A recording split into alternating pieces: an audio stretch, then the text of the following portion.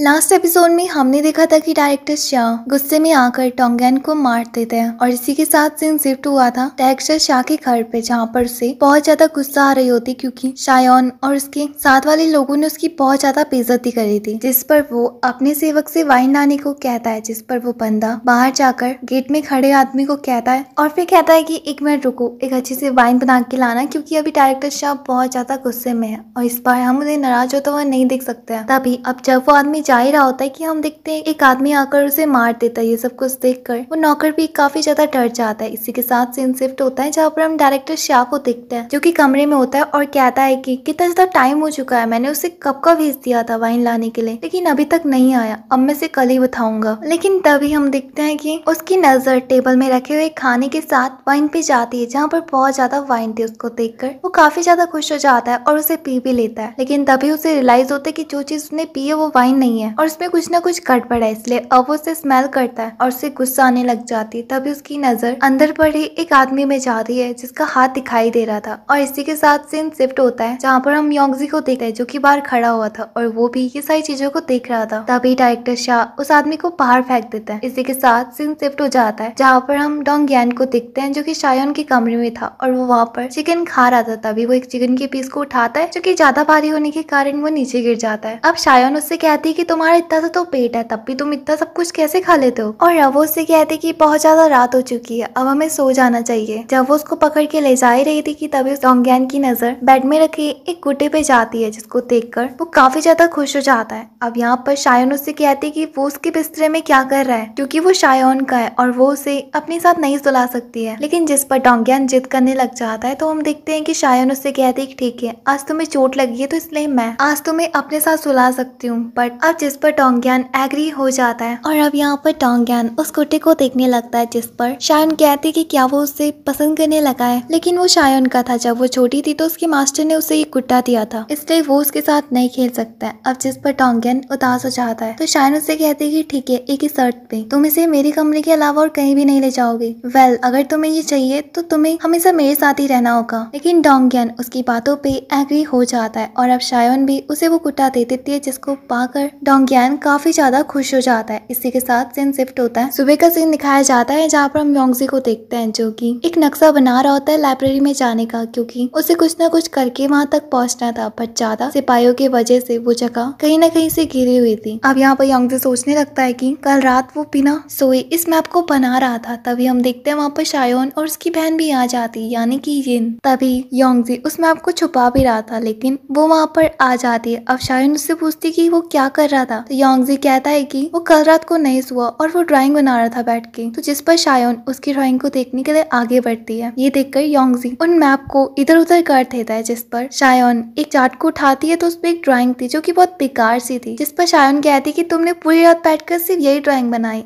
अब हम देखते कि ये इनकी नज़र अभी भी उसकी चार्ट के ऊपर थी। लेकिन अब योंगजी उनका ध्यान भटकाने के लिए एक दूसरे चार्ट को पकड़ता है, जिस पर एक थोड़ी बहुत बेहतर ड्राइंग थी, जिसको देखकर शायन खुश हो जाती है। और अब वो उससे कहती है कि, हम यहाँ पर तुम्हारा ट्रीटमेंट करने के लिए आए हैं। तो योंगजी कहता है किस बात का, जिस पर शान कहते कि, तुम्हें क्या अपनी पावर्स वापस नहीं चाहिए? और इसी के साथ सीन यहीं पर ही कट होता है, जहाँ पर हम शायोन और उसकी पेट को बाहर देखते जो कि इंतज़ार कर रहे होते और अंदर यिन योंगजी का ट्रीटमेंट कर रही होती है, उसके ऊपर निडल्स लगा लगा कर, जिस पर योंगजी को भी बहुत ज़्यादा दर्द हो रहा होता है। और अब यहाँ पर यिन योंगजी से पूछती है कि, तुम्हें कैसा फील हो रहा है? क्या तुम इससे अपने अंदर की इन स्ट्रेंथ को फील कर पा रहे हो? तो योंगजी कहता है कि इससे कोई भी फ़र्क नहीं पड़ रहा है। अब जिस पर यिन को गुस्सा आ जाती है और वो एक बड़ी सी निडन निकाल कर कहती है कि इसे तुम्हारी स्ट्रेंथ वापस से ठीक हो जाएगी। सब कुछ देख कर योंगजी डर जाता है और वहाँ से उठकर निकलने लगता है और कहता है कि ये सब करने की क्या ज़रूरत है? और वैसे भी, अभी तो तुम्हारी शादी भी नहीं हुई ना और मेरी भी नहीं। इसलिए अगर ये बात बाहर किसी को पता चली तो तुम एक काम क्यों नहीं करती हो? कोई अच्छा सा डॉक्टर ही अरेंज करा दो, वो मेरा ट्रीटमेंट कर देगा। जिस पर यिन कहती कि मैंने भी बचपन में इसकी बहुत ज़्यादा प्रैक्टिस ली है और मुझे सब कुछ आता है। और रही बात शादी की तो मैं यहाँ की अगली प्रिंसेस हूँ और ये राज्य मेरे ऊपर ही है। तो इसलिए मुझे शादी करने की कोई भी ज़रूरत नहीं है। अब